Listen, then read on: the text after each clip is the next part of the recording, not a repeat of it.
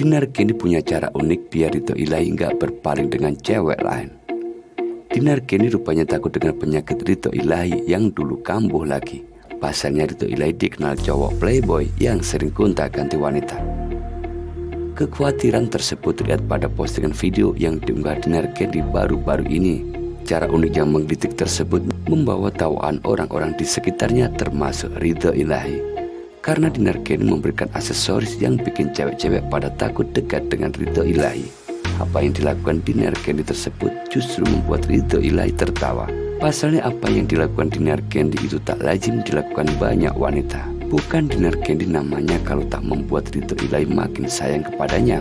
Pasalnya barang yang ditaruh di kamar Ridho Ilahi adalah sebuah cap jika Ridho Ilahi milik Dinar Candy. Gokil kan? Aku biar Rido nggak selingkuh, aku bakal taruh-taruh jadi aksesoris di sini. Nah, jadi nggak akan ada cewek yang ke sini karena coba dulu. Beneran nih? Iya bener lah. White, white, white. Iya wajib nih udah.